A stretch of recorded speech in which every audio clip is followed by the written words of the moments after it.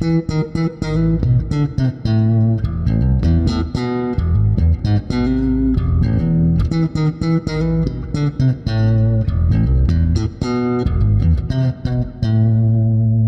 привет! В эфире «Так дела не делаются» подкаст о корпоративной культуре. У нас сегодня очень интересная лично для меня тема. Это найм директоров, найм сотрудников C-Level, как их часто называют. И у меня в гостях Наталья Абрашитова, хантер, который нашел закрыл множество таких вакансий, как я подозреваю. Совладелец кадрового агентства Наталья, а, расскажи, пожалуйста, пару слов о себе, Угу. А, ну, начну с того, что поблагодарю тебя за то, что пригласил сегодня. Тема действительно интересная, увлекательная. Для меня очень близкая, так как я в HR более 15 лет. А, много лет а, являюсь директором по персоналу в различных IT-диджитал компаниях. Малый, средний, крупный бизнес. Кроме этого, сейчас э, у меня есть свое кадровое агентство. Мы как раз занимаемся тем, что нанимаем топ-специалистов э, и не только, между прочим. А, сама прособеседовала огромное количество топовых э, экспертов. Занимаюсь сама лично хантингом. Ну и вообще эта тема мне очень близка, интересна, готова поделиться той информации, которая есть у меня. Ну и карьерным консалтингом занимаюсь, как раз консультирую топовых специалистов в различных компаниях. А минутка самой рекламы. Как называется твоя компания? Uh, Team for You. Team for You. Uh, Team for You. Если вам понравится то, что сейчас услышите, вы захотите поговорить про это с Натальей лично, найдите Team for You и свяжитесь с ней. Почему я хотел поговорить на эту тему? Как я на нее смотрю? Да, вот я формально я заместитель генерального директора, можно сказать, я там исполнительный директор, это там вот как посмотреть. В общем, моя роль, я занимаюсь э, такими глобальными вопросами развития компании, и первое, во что я упираюсь, это кадры. Это люди, вместе с которыми мы будем что-то делать. И я стою перед такой дилеммой. Это, как обычно, растить внутри и нанимать. Рост внутри – это вещь достаточно медленная и ограниченная в производительности. Понятное дело, что у нас среди лидеров, среди директоров очень много людей, которые начинали с каких-то более низовых позиций прекрасно выросли. Более того, я и сам такой. Я в компанию пришел, сложно сказать, пришел. Я пришел в проект в момент основания, но как обычный копирайтер по сути, да, и вот э, там прошло несколько лет, я из копирайтера вышел, вырос в топ-менеджера. Но если мне сейчас нужно масштабировать компанию, я не могу кого-то нанять и ждать два года, пока он вырастет. Мне нужно нанять человека, который уже сейчас, там, через месяц может взять э, какую-то э, большую роль на себя. И в этой ситуации я чувствую себя растерянным. Я за последнее время ну как, нельзя сказать, что я лично нанял, потому что все-таки топ-менеджеров нанимает собственник, но я приложил руку к тому, чтобы наняли нескольких топ-менеджеров, и это всегда какой-то совершенно случайный процесс с кем-то где-то познакомился, с кем-то где-то пересекся. Вот в данный момент я веду такую цепочку собеседований а, с а, девушкой, с которой познакомился просто на тусовке. То есть мы там пили кофе условно, там слово за слово, да, а, а где работаешь, какие компетенции, а давай пособеседуемся поскольку для меня этот процесс, он совершенно такой неосознаваемый и неуправляемый, я чувствую некую растерянность э, из разряда, а если мне надо будет целенаправленно что-то делать, что я буду делать? Я просто не знаю. А что ты про это думаешь? Как ты на это смотришь глазами профессионала? Слушай, ну интуитивно ты поступаешь правильно, действительно. Если тебе нужен руководитель, то ты можешь найти его, в принципе, и на тусовке, и на джоб-сайтах, да, и в социальных сетях, и через знакомства. Это достаточно широкий спектр и такое достаточно большое поле для а, реализации твоей идеи. Единственное, прежде чем приступить к поиску такого специалиста, тебе нужно создать некий аватар такого специалиста. Для начала оцифровать все свои мысли, которые у тебя есть в голове по под какую задачу тебе нужен данный эксперт, а, вынеси это, по крайней мере, в какой-то мануал, в какой-то документ, чтобы тебе было понятно, на какой портрет тебе нужно ориентироваться. Когда мы действуем интуитивно, мы можем не увидеть какие-то слепые пятна и в будущем думать, о боже, как же я обжегся, вообще, вообще как же так вообще могло произойти. На самом деле ничего страшного в этом нет, на самом деле ты просто изначально не подошел к этому вопросу системно. Ты не оцифровал портрет э, менеджера, ты не э, четко сформулировал задачу, под которой тебя нужен данный менеджер, да, и поэтому где-то ошибся. Ну, это неплохо, это неплохо, все мы люди, все мы ошибаемся, на своих граблях учимся и получаем опыт, но как это сделать быстрее? Для начала, конечно же, подходишь к этому вопросу более системно, более серьезно и осознанно. Но я так понимаю, что ты уже к этому пришел, поэтому ты уже на пути к успеху, у тебя уже все получается, получится, и я думаю, что все будет круто. Единственное, надо добавить э, пару моментов, вот и все, и все будет отлично. Ну, плюс, если тебе самому сложно это сделать, сделать, ты всегда можешь обратиться к, к эксперту, который тебя проконсультирует. Если ты не уверен, допустим, в каналах, привлечения, ты прежде всего подумай, вот э, тебе нужен, допустим, там, директор по маркетингу в определенной сфере, где такие люди могут обитать. К этому вопросу э, можно подойти как к выбору какого-то продукта, либо как к выбору одежды, которую ты носишь. Да? Допустим, ты привык к премиальному бренду. Премиальный бренд, он не будет э, продаваться, грубо говоря, в пятерочке, либо на рынке. Он будет в каком-то дорогом супермаркете продаваться, либо специализированном магазине, общении. То же самое с людьми. Если тебе нужен определенный типаж человека, надо подумать, где этот человек может находиться, в каких э, локациях, э, на каких площадках, на какие тусовки он ходит. Ну и, естественно, пойти туда же, либо разместить свою вакансию, либо завязать свое знакомство на определенной площадке, где этот человек может быть. Давай я повторю, как я это услышал. Первый пункт – это потратить время на то, чтобы описать э, человека, которого я ищу. Все верно. У меня есть такой собственный прикол, я это называю так. Меня неизменно удивляет, что люди готовы два часа выбирать телефон, но на вопросы жизни и смерти надо получить ответ за 10 секунд, потому что 15 – это слишком долго. Все верно, все верно. Так оно и есть, к сожалению.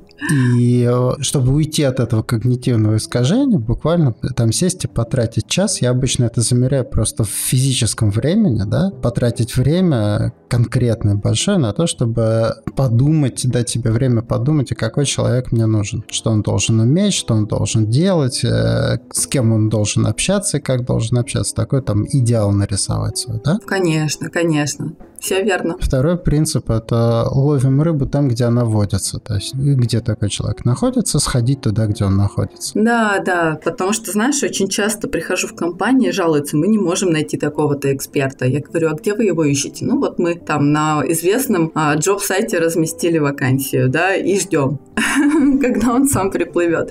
Первая ошибка – ждем, да, здорово, что вы разместили вакансию, но охота на самые лучшие кадры всегда происходит происходит э, в холодную и активным поиском. То, что вы везде разместили вакансию, здорово. Такой человек потенциально, если он вышел на рынок, он увидит вашу вакансию. Если она здорово, круто описана и попадает в его ценности, он, возможно, сам напишет. Но это маловероятно. Чаще всего такого человека надо ловить самостоятельно, выходить на него самостоятельно э, теми или иными путями.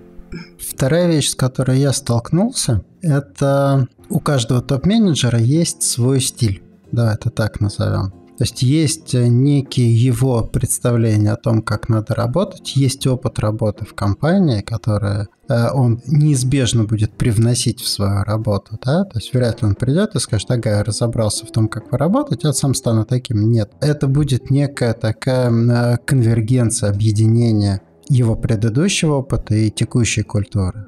И для меня стало таким большим вызовом это разобраться, а сможет ли этот человек в моей компании работать, подойдет ли он для меня. Я нашел такой бытовой способ, как с этим справляться. Это просто садиться и говорить, а там обсуждать с ним разные сценарии, разные ситуации. А если так, а если так, а если так. Но это вот чисто и из моей логики, да, давай в уме проиграем, как ты будешь работать в нашей компании. Есть ли здесь что-то более конструктивное, может быть, более там понятное? Или наоборот, я все делаю правильно? Как ты думаешь? Опять же, глазами эксперта. Угу. Ну, во-первых, то, что ты делаешь, это очень здорово. Это называется кейс-интервью либо проективное интервью, оно на самом деле дает очень хороший результат при собеседованиях, потому что, во-первых, когда человек отвечает на эти вопросы, он так или иначе все это из своего собственного опыта достает, да, либо когда он отвечает на проективные вопросы, он так или иначе все равно говорит о себе. Поэтому ты все равно нужную информацию из него так или иначе вытащишь. Ты это получишь. Тут другой вопрос, насколько ты ее услышишь, насколько правильно ты ее услышишь и проанализируешь. Это во-первых. А во-вторых, я заранее еще рекомендую прописать и определить э, свои ценности, оцифровать их. Проблема многих компаний то, что они до конца не осознают свои ценности и какие люди у них э, чаще всего бывают успешными в компании, какие чаще всего дают хороший результат, кто дольше всех работает. А работают э, дольше всех те люди, чьи ценности совпадают с ценностями компании, а, либо хотя бы с ценностями руководителя, да, непосредственного, которому этот человек будет э, подчиняться.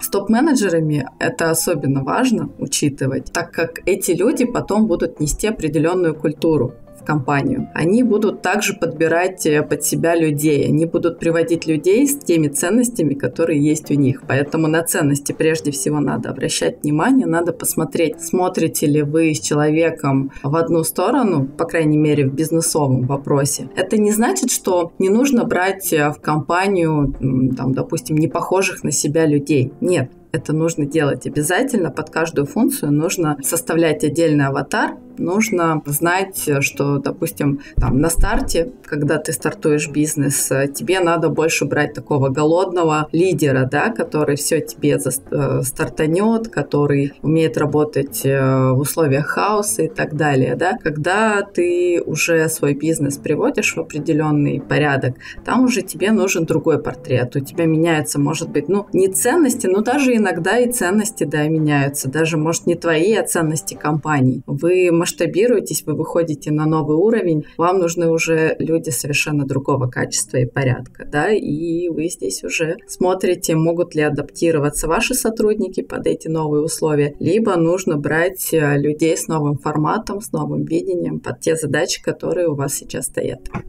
Вот.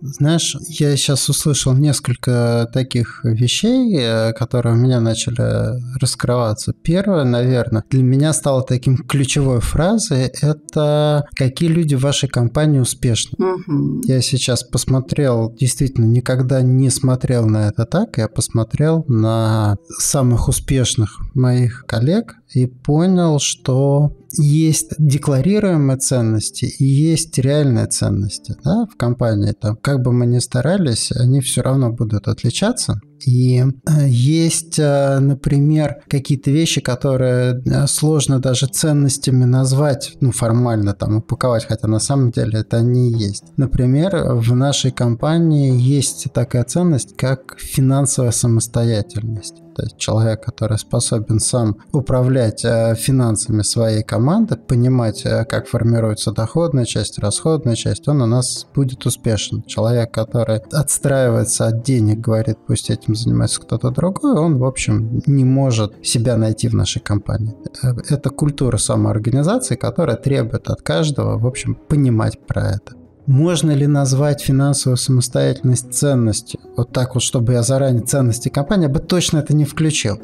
Но сейчас я понимаю, что я точно буду про это спрашивать на собеседованиях, на встречах, потому что реально это так. Реально люди, обладающие этой чертой или этим навыком, они в компании успешны, они обладающие, они успешны. Получается, что это различительный инструмент. Он помогает мне увидеть потенциально классных кандидатов. Да, да, ты абсолютно прав в этом вопросе. Я так врываюсь, чтобы тебя поддержать. Угу. но и немного хочу тебя предостеречь. Есть такая вещь, называется ошибка выжившего. Угу. Всегда анализируй не только успешных людей и успешные кейсы своей компании. Смотри, какие люди, которые изначально были очень сильными и классными в других компаниях, почему они не прижились и не выжили у тебя в компании. В чем была их ошибка, либо в чем была их сложность. Вот когда ты проанализируешь и плюсы, и минусы, то есть и сильные стороны да, своих лидеров, и слабые стороны и, э, своих лидеров, и сильные и слабые стороны людей,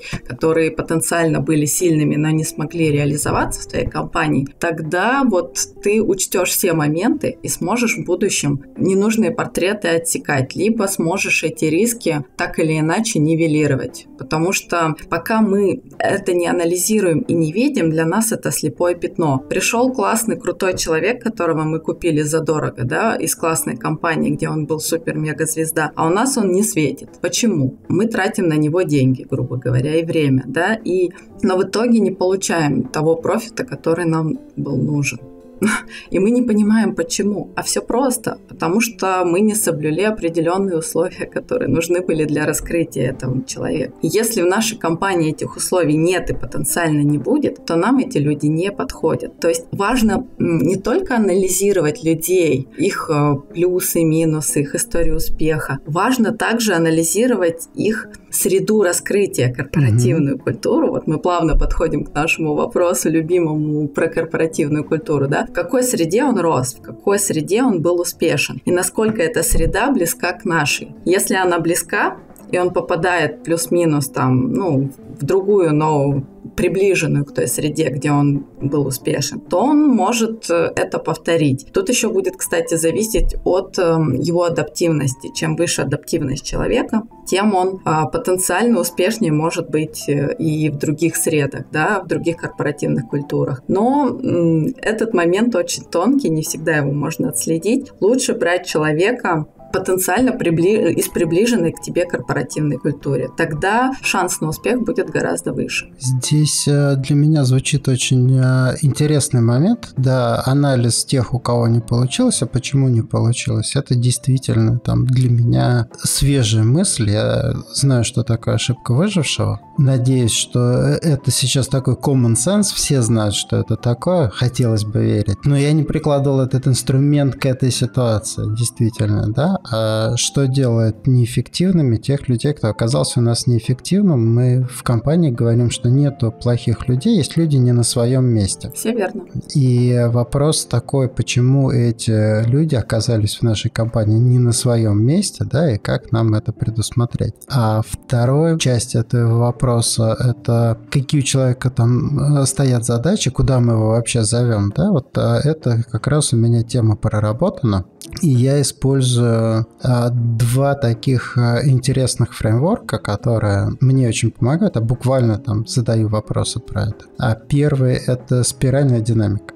Я искренне надеюсь, что наши слушатели или знают, что это такое, или посмотрят. Лучше расскажи, многие могут не знать. Вкратце сделай ликбез небольшой. Постараюсь уложиться в три минуты. У человека и у любого процесса, у любой компании есть несколько этапов. Первый этап – физическое выживание, бежевый уровень, что мы находимся в безопасности. Мы сыты, мы в доме, мы одеты, мы здоровы. Нас продувает кондиционер, да, нам не угрожает э, болезнь, там, смерть или еще что-то. Второй уровень, фиолетовый уровень, это семья. Мы являемся частью какой-то группы людей. Я не одинок, я часть группы э, очень формальной группы, очень в широком смысле. Третий уровень – достигаторство. Я могу что-то сделать, я могу чего-то добиться. Четвертый уровень. Достигаторство красный уровень, когда говорят про красных директоров, обычно имеют в виду как раз таких ребят. Я могу добиться. Следующий синий уровень, уровень э, структуры. Я могу свой успех превратить в систему, чек-листы, в правила и тиражировать его. Уже не я могу добиться, а люди, которых я нанимаю, действуя по инструкциям, которые я написал, могут воспроизводить результат, который я задумал. Следующий уровень – уровень предпринимательства – оранжевый уровень. Когда человек говорит, у меня есть идея, я что-то такое в этом мире вижу, что помогает мне а, буквально вытаскивать возможности из воздуха. То есть это, если красный уровень это был, я могу сделать, то здесь я могу увидеть, я могу вот рассмотреть какую-то уникальную возможность, которую другие не заметили. Угу. Следующий уровень зеленый. У меня есть команда, самоорганизованная команда, которая может самостоятельно работать, находить новые возможности да, и адаптироваться самостоятельно к миру. Следующий уровень желтый – это я могу это буквально ну, про последний уровень мне тяжело говорить, потому что я их там, наверное, может, если и щупал, то только краями. По сути, это уровень магии. Я могу предложить или сказать что-то такое, что меняет мир.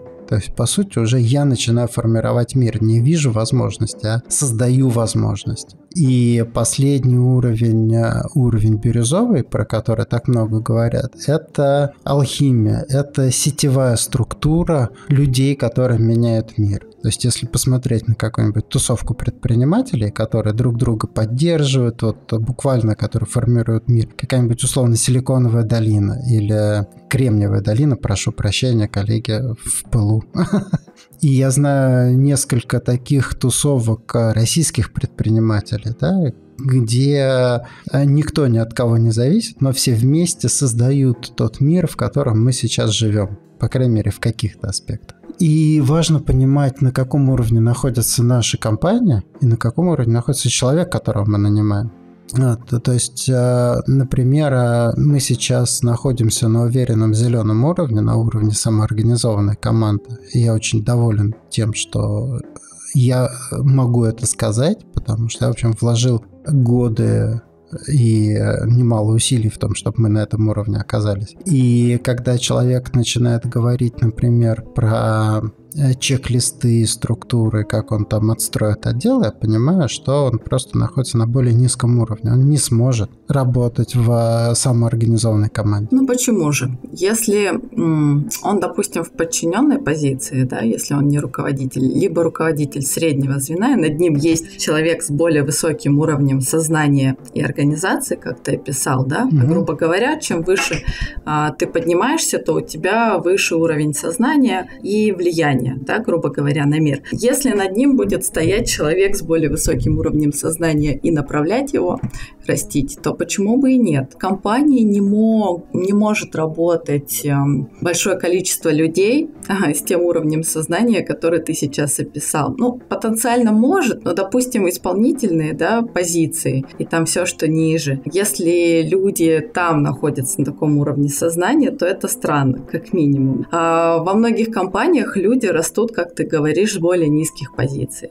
И они когда-то были на другом уровне сознания. Э, с топ-менеджерами, если он, допустим, среднего звена, он тоже может быть э, на уровне чуть ниже, чем нужно тебе. Тут вопрос, опять же, под какую функцию ты его берешь. Если тебе нужно именно выстроить процессы так, как ты видишь, да, и так как надо тебе, а ты видишь, что именно таким образом это будет работать, ты уже это проверил, эту гипотезу, и это круто, то потенциально, ну, это имеет место быть. Знаешь, а если ты все-таки, да, да. Э, это вот как раз очень интересный вопрос практики. У меня был период, когда я вот э, тоже думал, что это будет выглядеть так. На самом деле я увидел следующую вещь. Когда мы пришли вот на этот зеленый уровень, на уровень самоорганизации, оказалось, что нету каких-то процессов, которые я каким-то образом должен выстроить.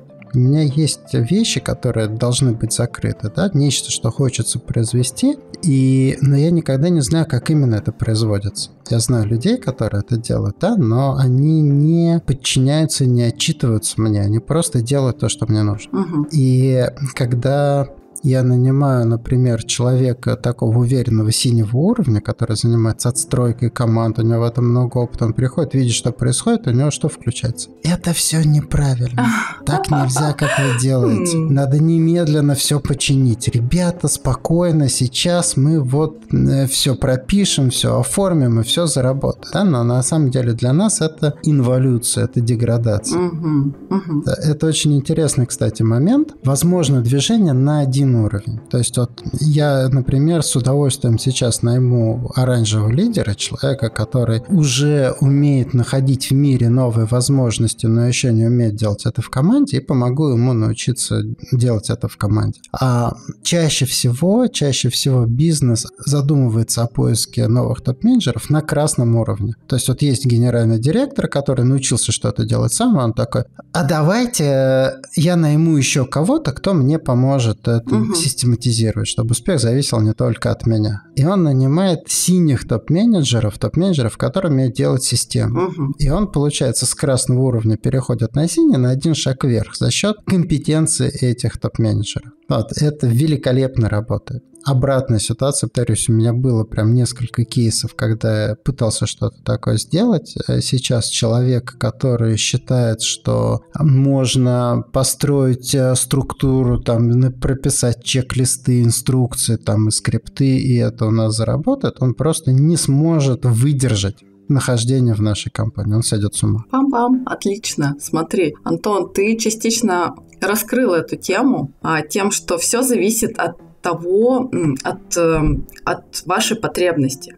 Вам просто сейчас это не нужно. Угу. Если компании это нужно, у них это работает. Вам это не нужно, вам нужно другое, у вас это не работает. Если человек пришел, ты правильно увидел своего человека, подобрал его, привел в команду, и он увидел то, что вам нужно, вы его прям в это погрузили, посвятили, и он копает в нужном направлении, да, все отлично работает. Если он не понял и нормально не адаптировался, нормально не вошел в процесс и не увидел потребности компании, вот здесь уже проблема. Слушай, кстати, хороший point, потому что я свой личный опыт рассказываю как некую там, да, устройство мира. На самом деле нет, это просто мой личный опыт, который, в общем, очень сильно завязан на то, где мы находимся. Uh-huh. И э, в какой среде, в какой ситуации. И я вполне допускаю, что через какое-то время я такой, блин, а вот нам сейчас нужно где-то отстроить синий процесс. И я прям сейчас задался вопросом, как это может выглядеть. Я понял, что я бы просто предложил параллельную компанию открыть. Ну, то есть не в одной структуре держать, там, например, там, зеленую, синюю команду, а просто распараллелить этот процесс. Пусть у нас появится компания, которая оказывает услуги основной компании, в которой находится на другом уровне и закрывает что-то так, как это может работать. Да, либо пригласить консалтеров и все, и даже открывать компанию не нужно. Ну, как вариант. Да, Вариантов много. Я понимаю, что я бы придумал, как это совместить, если бы в какой-то момент задался такой целью, если ну, там потребность такая будет, задамся. Угу.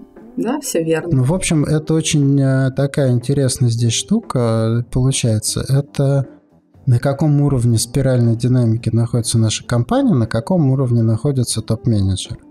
Я сейчас думаю, что рабочая схема – это вот отличие в один уровень. Это то, что безопасно можно интегрировать, это то, что легко может заработать. Если отличие больше, чем в один уровень, то уже нужно придумывать что-то необычное. Вот так вот в лоб, типа просто нанять его, там, привести на совет директоров, дать ему работать, и чтобы это дало результат, я очень сомневаюсь ну, нужны какие-то стыки, нужно как-то думать про переходник между разными уровнями, если у нас часть компании там работает на синем уровне там, или даже на красном, а часть, например, на зеленом. Тут еще, знаешь, есть один такой момент. Эм, очень часто я слышу о том, что вот эм, компания рассматривает всех интересных кандидатов, и если они видят интересного кандидата, то они под него создают, грубо говоря, вакансию, да? Но Опять же, здесь большой вопрос. Где-то это работает, это действительно классно, если они могут таким образом адаптироваться, да, и получается, что это не человек адаптируется, да, а компания адаптируется под человека. Но компания — это живой организм.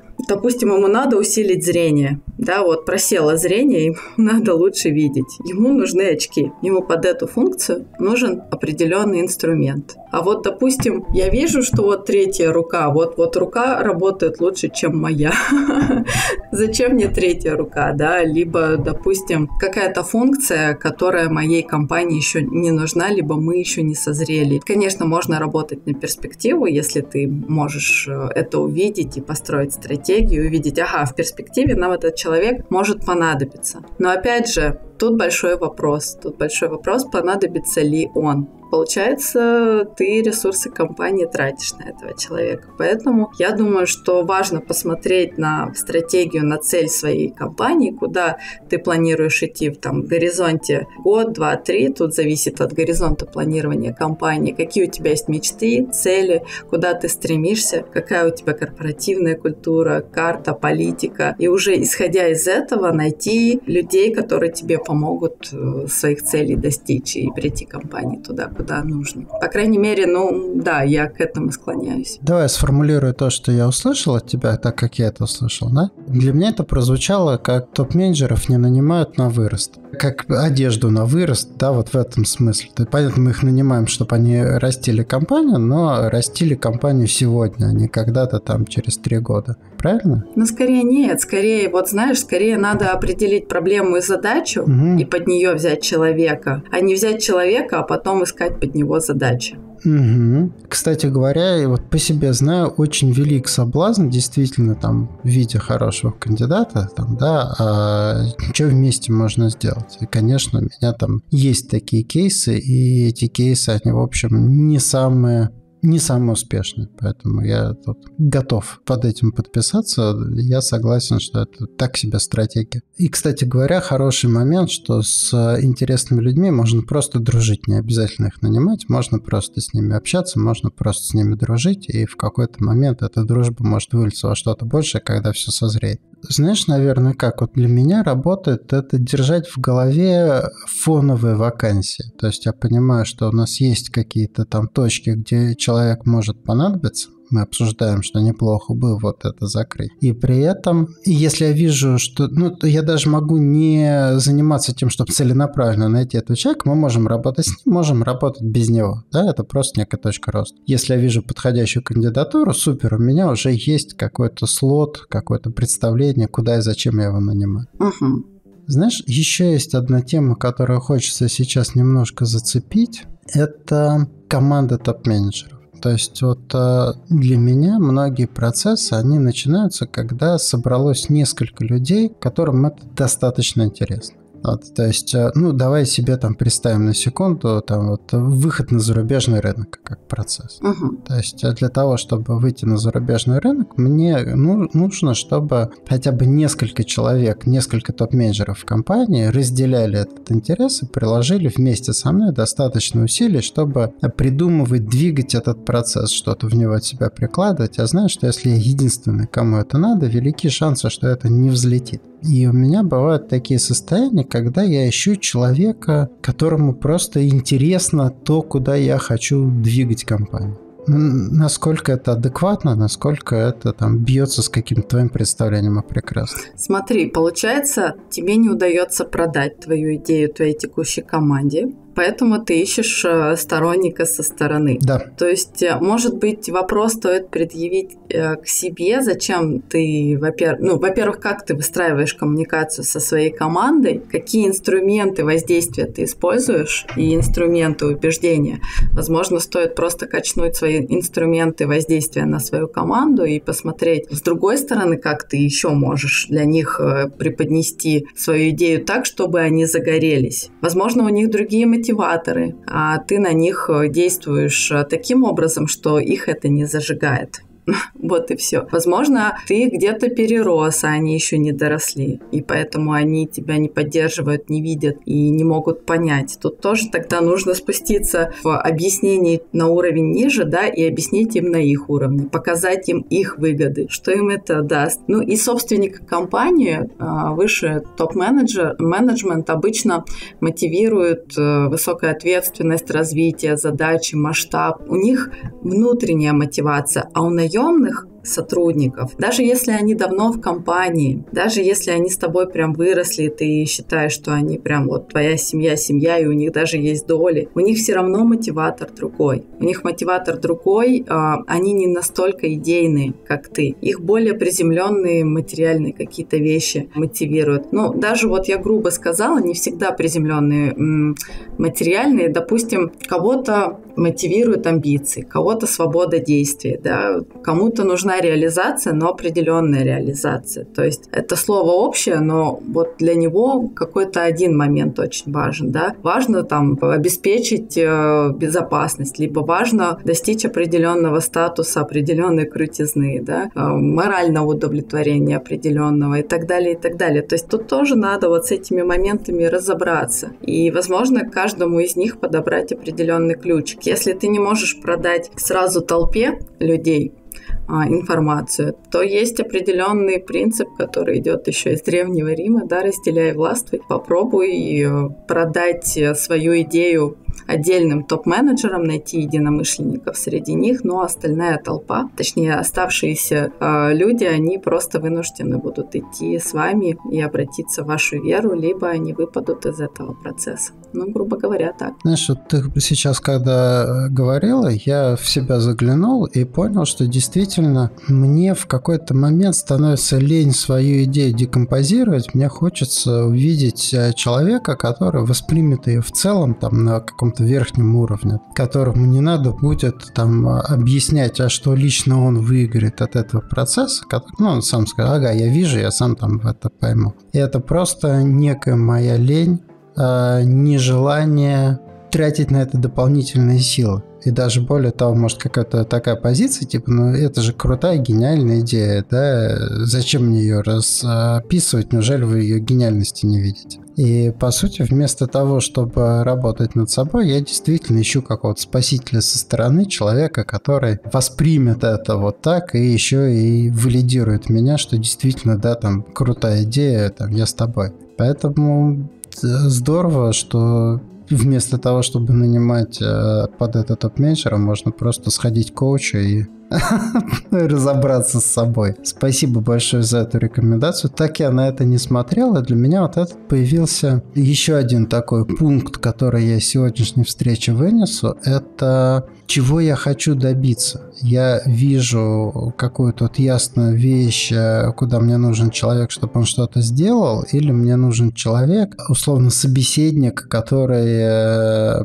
мою какую-то проблему решит гипотетически, да, то есть я ищу, ищу компетенции, время, силы, энергию, или я ищу там психотерапевта для себя. Наверное, последний случай вряд ли сработает. Но тут и так, и так можно на самом деле. Тут зависит от того, какой путь ты сам выберешь. Я понял, что из-за конфликта между формальными деклари... и реальными потребностями, из-за того, что я декларирую, из-за того, что я действительно хочу получить, э, нету какого-то позитивного сценария. Если этот человек начнет работать топ-менеджером вместо того, чтобы работать моим психотерапевтом, я буду разочарован в том, что он не оказывает мне ту поддержку, ради которой я его искал.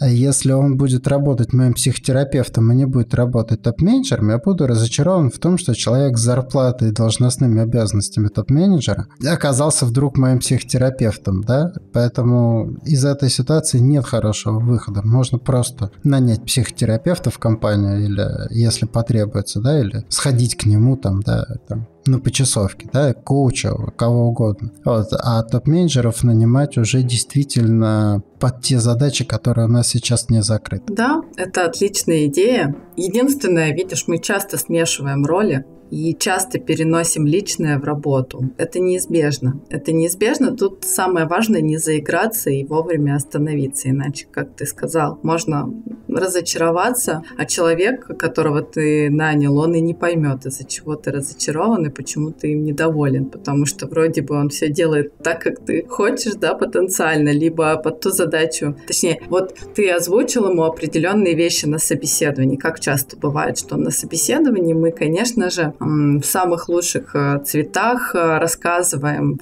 специалистам, как прекрасно у нас в компании работает, рассказываем про светлое будущее и так далее, и так далее. Мы рассказываем одну сторону медали. Мы не показываем очень часто внутрянку когда человек в компанию выходит, он, конечно же, видит э, всю картину в целом. Ну, то есть он видит и обратную сторону медали, и, возможно, он еще видит э, еще какие-то роли, которые мы на него э, потенциально навесили, но ему не рассказали. И он очень часто может быть с этим не согласен. В этом тоже может быть проблема. Поэтому лучше заранее, прежде чем нанимать человека, проанализировать себя, проанализировать ситуацию в компании и честно ответить тебе на вопросы, чего я действительно от человека хочу. А, знаешь, классная очень штука. Я сейчас э, сформулировал для себя это как некое такое правило. Опять, я, наверное, бессознательно это делал, поэтому мне это отзывается. Сейчас я это начинаю видеть и формулировать. Какова цена? То есть какова цена тех плюшек, которые у нас есть. И эта цена, в общем, велика. Более того, в большой степени она ложится как раз на топ-менеджеров. Вот, например, у нас в компании очень много свободы. И люди ультраэффективны. Какова цена? Топ-менеджер не может приказать сотрудникам что-то сделать. Нет инструмента, как заставлять людей, потому что заставлялки в компании нет есть там правило безусловного отказа, ты приходишь сотрудник и сделай что-то, он говорит, не буду. Ну все, он, он не будет делать, придумай что-то еще с этим. Вот. И для человека, который привык, например, э, э, к тому, что он просто там накидал задачи, эти задачи сделаны, да, конечно, это невыносимо. Он такой, свобода, здорово, я вот хочу свободы, я вот хочу сам, чтобы никто мне ничего не приказывал, я там сам выбирал, у меня столько там компетенции, экспертизы. Оказывается, в среде, где его подчиненные точно такие же, они хотят той же самой свободы, точно такой же там, и реализовать свою компетенцию, экспертизу. Как это? Я на это не подписывался. Это прям может быть травма. Поэтому, да, рассказать оборотную сторону, чем мы платим за это. Или там э, например,